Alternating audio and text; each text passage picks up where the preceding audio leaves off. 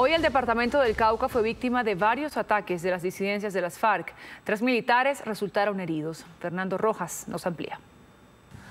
A esta hora es noticia en el departamento del Cauca el hostigamiento del que fue objeto de la estación de policía del corregimiento de Mondomo en Santander de Quilichao.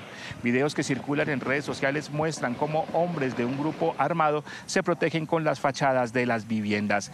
15 minutos duró aproximadamente el hostigamiento y a esta hora hay sobrevuelo sobre la zona. Asimismo se presentaron 21 ataques con drones en la parte alta de la Salvajina en el municipio de Suárez, Cauca. En este ataque Tres militares resultaron levemente heridos. Asimismo, se presentaron dos combates entre el ejército y las disidencias de la Jaime Martínez.